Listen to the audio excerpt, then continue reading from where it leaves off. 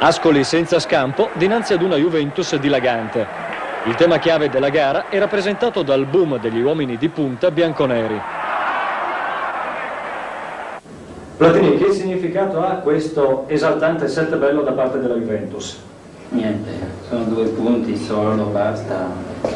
Come ci siamo detto, preferi, preferisco vincere 7 volte 1-0 che, che, una volta 7-0. Dunque siamo andati subito in vantaggio, abbiamo sbloccato il risultato, dopo era più tutto facile. Il reparto avanzato juventino ha indetto la domenica del mutuo soccorso. Nell'azione del primo gol è Platini a lanciare Boniek verso Corti, giustiziato dal polacco.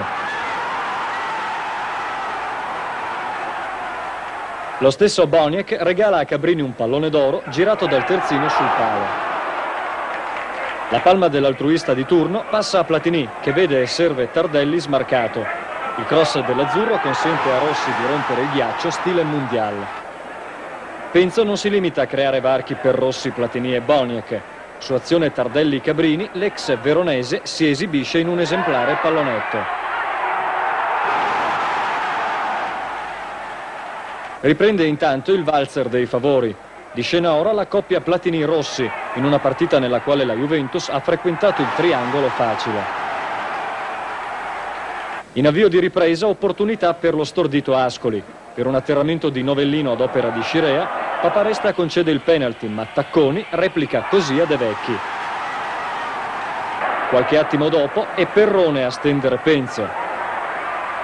Platini, più glaciale di De Vecchi, non perdonerà il portiere avversario.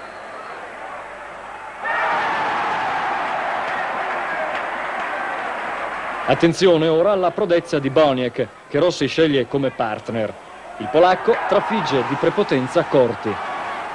Il rallentì dimostra che Boniek ha deciso fin dalla partenza della palla dal piede di Rossi da farsi peso del corpo in avanti, compasso della gamba sinistra sul piede di appoggio e chi si è visto si è visto. L'Ascoli si scuote nei limiti di un match di pura rappresentanza. Nicolini impegna Tacconi. Infine Vignola, dalla lunga distanza, a completare l'opera. 7 a 0, un cappello.